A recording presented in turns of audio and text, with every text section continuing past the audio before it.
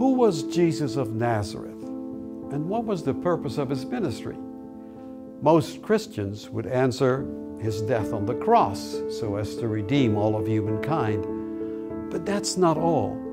We so often forget that while on earth, Jesus led a movement that attracted hundreds, if not thousands of people, many of whom were hungry, poor, and dispossessed.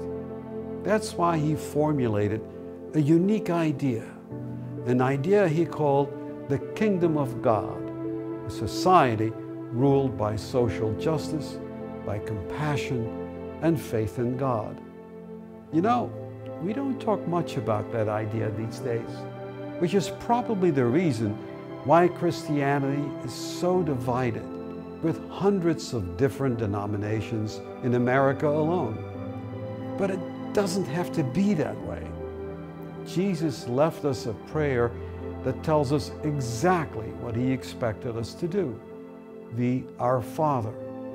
In my new book, The Fractured Kingdom, I show what each of these verses mean, beginning with the original Aramaic text and then exploring their meaning in the context of his time. I think you'll be amazed for so much of what Jesus is telling us and so much of what was happening in his time is still very relevant for us today. I think it may even help us to bridge the divide between our Christian denominations and between the Christian right and left by returning to the very ideas that Jesus talked about, by turning our fractured kingdom into the society He wants us to build a community of compassion, justice, and faith.